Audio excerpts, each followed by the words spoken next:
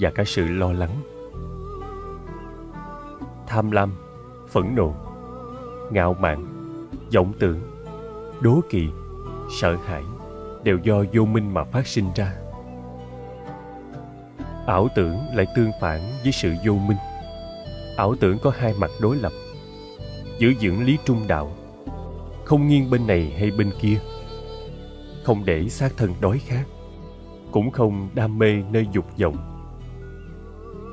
chuyên chú vào trung đạo. Nếu như nhận thức được tà ác chỉ là ảo tưởng, vậy thì tất cả mọi phiền não sẽ tự tiêu tan. Chúng ta liền cảm nhận được tình thương và sự bao dung. Bản chất của hai loại cảm xúc này đều giống nhau. Nếu cảm nhận được như vậy, thì mọi oán hận đều không còn người đối xử tàn ác với chúng ta ta cũng có thể thấu hiểu. Và đến khi cánh cửa trí tuệ đã được mở ra, điều còn lại chỉ là lòng bao dung mà thôi. Trong khi thiền định, nếu trong tâm khởi lên vọng tưởng, trí tuệ có thể giúp ta phân biệt rõ chân lý và sự vật, phân biệt rõ ta và người. Chính sự phân biệt đó dẫn dắt cuộc sống của chúng ta đi vào lầm lạc. Con người thường bị tình cảm trói buộc. Mà tham lam chính là nguyên nhân khiến con người rời xa chân lý. Trong vòng luân hồi từ lúc sinh ra cho đến khi chết đi, chúng ta sợ hãi bệnh tật và chết chóc. Điều đó chỉ làm tăng trưởng vô tri và sợ hãi của chúng ta mà thôi. Do đó, cần phải đoạn trừ tất cả vọng tưởng. Một khi bước ra khỏi vọng tưởng, thì sinh mạng cũng sẽ được tự do, thoát khỏi sự tù túng, thanh tịnh, an định và hòa bình. Tứ thánh đế chính là bốn sự thật cao quý sự thật thứ nhất, không ai có thể tránh được.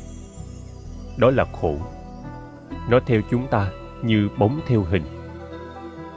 Sự thật thứ hai, nguyên nhân của khổ đau.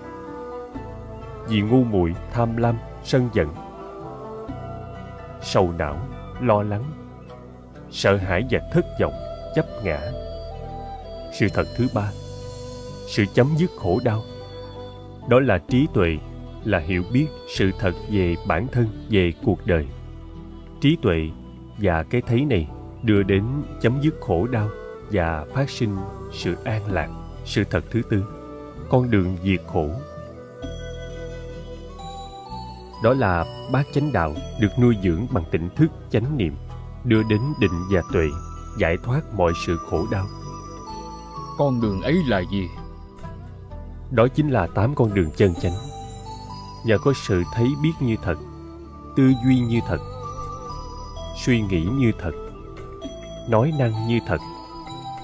Việc làm chân chánh, đời sống chân chánh, siêng năng chân chánh, an trú tâm chân chánh sẽ dẫn dắt hành vi của chúng ta.